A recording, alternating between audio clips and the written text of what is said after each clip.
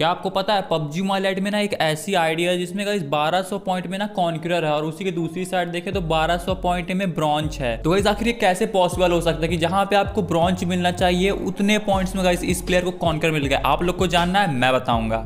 अब गाइस आप लोग ये आईडी देख रहे हो इस आईडी को ना पबजी मोबाइल का सबसे अनलकीस्ट आईडी का रिवॉर्ड मिल चुका है। जानते हो क्यों गाइस इस आईडी को देखो इसने ना 10,800 मैक्स आउट किया फिर भी इसको कॉन्कर नहीं मिला। और आप लोग ये करेक्टर देख रहे हो इस करेक्टर में गाइस आप इस फेस देखो और हाथ देखो मतलब एकदम मैचिंग नहीं कर रहा ना फेस जहाँ पे काला है और हाथ गोरा। एंड गाइस आप लोग ना इस आईडी को देखो इस आईडी का लेवल देखो इस आईडी का लेवल सिक्सटीन है बट अगर हम लोग इसकी पूरी स्टेटिक्स की बात करते हैं ना तो स्टेटिक में इसको एशिया सर्वर करो और करंट सीज़न में आईडी बनी। और सोलो पे गाइस इसने सात हज़ार किल किए हैं। फिर भी गाइस आप लोग सोचो, सात हज़ार किल करके फिर भी सोलह लेवल ऐसा क्यों? आप लोग यही सोच रहे होगे ना? तो चलो गाइस पबजी मोबाइल के कुछ ऐसे अनसुलझे रहस्य और किस्से कहानियों के बारे में बात करेंगे और आप लोग को ना पबजी मोबाइल की एक मिस्टीरियस दुनिया पे ले चलते हैं। तो चलो गाइस ज़्यादा टाइम ना वेस्ट करते हो आज के अपनी इस वीडियो को स्टार्ट कर लेते हैं।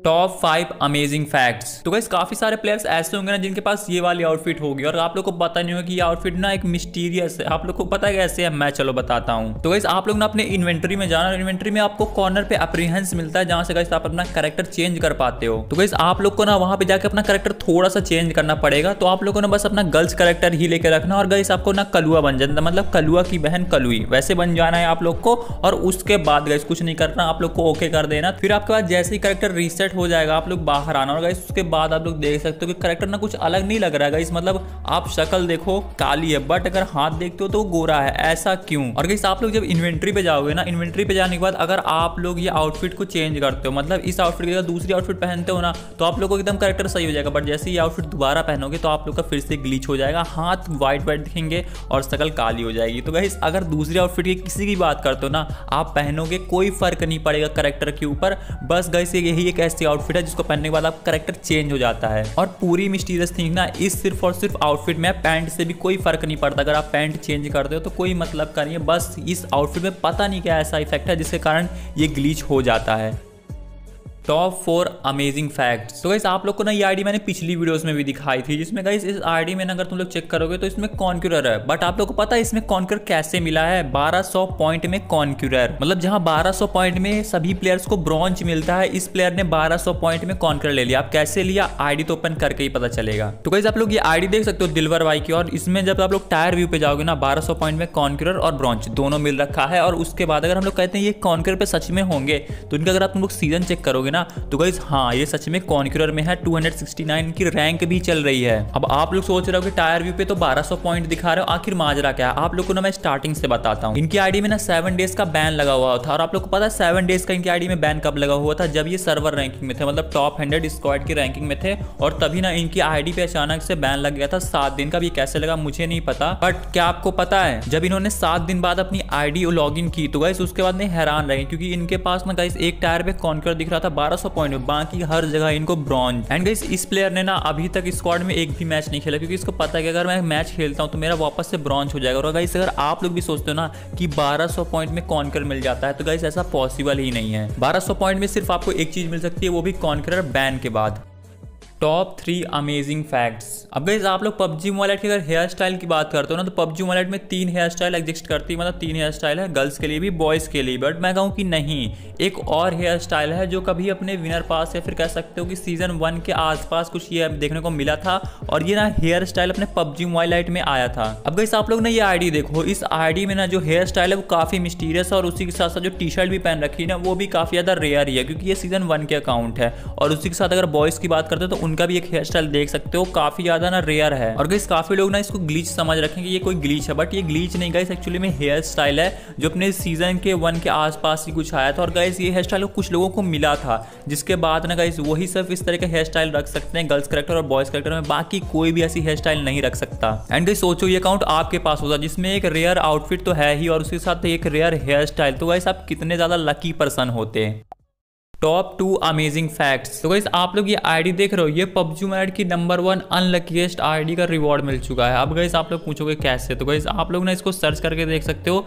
इस आईडी को ओपन करोगे ना तो इसमें तो पहली बात करेक्टर नहीं दिखेगा, क्योंकि इसमें बॉर्ड लॉबी में अकाउंट ये फंस चुका है। और दूसरी चीज़ गाइस जब भी आप इसके स्टैटिक्स पे जाते हो तो स्टैटिक्स पे जाके एशिया सर्वर करना।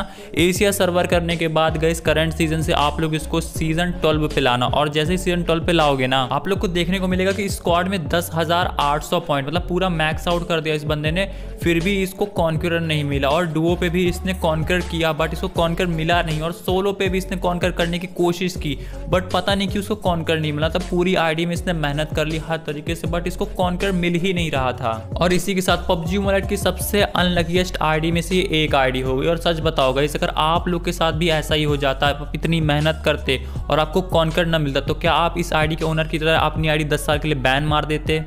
टॉप वन अमेजिंग फैक्ट्स अब गाइस टॉप नंबर वन पे रखा तो कुछ सोच के रखा होगा। और गाइस ऐसी चीज़ें आपको बताने वाला ना टॉप नंबर वन पे, जो आपके आँखों के सामने दिखेंगे, आप लोग देख भी पाओगे। सर्च करने की ज़्यादा ज़रूरत नहीं है डेली ओपन करके देख सकते हो। और सच बताओ ना तो ये देखने के बाद आप लोग भी हैरान हो जाएँगे कि आखिर क्यों इस प्लेयर के साथ ऐसा किया गया। बट उससे पहले यार, अगर आप लोग वीडियो देख रहे हो तो यार चैनल को सब्सक्राइब कर लेना। मेरे से बहुत ज़्यादा हम्बल रिक्वेस्ट है, दो लाख सब्सक्राइबर के हम लोग बहुत ही ज़्यादा करीब आ चुके हैं। तो यार सभी लोग सब्सक्राइब का बटन दबा देना। तो गाइज़ आप लोग ना अपना सर्वर रैंकिंग ओपन करना और उसके बाद बैटल रॉयल मोड में जाना किल रैंकिंग पे जाना और जैसे आप लोग किल रैंकिंग पे जाते हो ना, आप लोग के सामने ना दो आईडी आएँगी, एक ही नाम की एटेक्स शेडो और एटेक्स शेडो एंड गाइस आप लोग को ना सेकंड नंबर पे एक आईडी दिख रही होगी 16 लेवल की। अब गाइस आप लोग बताओ, इतने ज़्यादा किल करने के बाद कोई आईडी 16 लेवल पे हो सकती है? एंड गाइस अगर हम लोग इस आईडी की स्टैटिक्स की बात करते हैं ना तो यहाँ पे आप लोग हमेशा ये यूरोपी मिलेगी। आप एशिया पे करना और सोलो रैंकिंग में जैसे ही जाओगे सोलो पे इसने सात हज़ार किल कर रखे। मतलब गाइस आप लोग सोचो सेवन थाउज़ेंड किल करके आईडी का लेवल सिक्सटीन कैसे हो सकता है? कितना मिस्टीरियस है ना? और इससे बड़ा मिस्टीरियस ना आप लोग को भी दिखाता हूँ। आप किल रैंक पे दोनों आईडी को देख रहे होगे। दोनों आईडी पे जो नंबर वन पे आईडी है ना गाइस उसने कुछ सेवन थाउज़ेंड किल किए हैं और सेकंड नंबर पे जो आईडी है, उसने